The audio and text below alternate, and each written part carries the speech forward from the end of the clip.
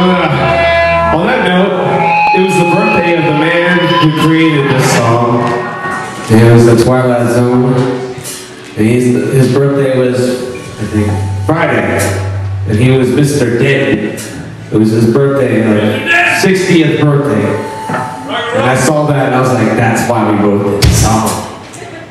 And it's Mr. Denton on Doomsday.